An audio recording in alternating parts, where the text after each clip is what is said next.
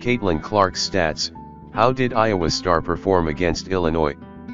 The number 4 Iowa Hawkeyes, an incredible program led by senior guard Caitlin Clark, dominated the Illinois Fighting Illini with a 101-85 home victory on Sunday helped with Clark's dominance. She ended up with 24 points, 15 rebounds, 2 steals and 10 assists over 33 minutes. It did not matter that she struggled to shoot, going 6 of 18, as she went 5 of 14 on three-pointers and made all but one of her 8 trips to the charity stripe. It was her 16th career triple-double and the fifth one this season. To put that into perspective, no other Division I basketball player, regardless of gender, has more than four in their careers.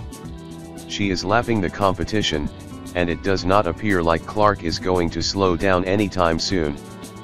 How many points is Caitlin Clark behind Pete Maravich's record?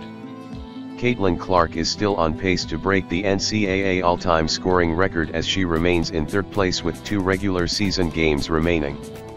She is 48 points away from passing former Detroit Mercy Titans guard Antoine Davis and 51 from surpassing Pistol Pete Maravich for the record.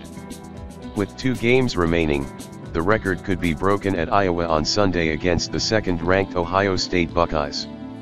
She can knock out a big chunk of the remaining points at the Minnesota Golden Gophers on Wednesday. Will Clark head to the WNBA after the season?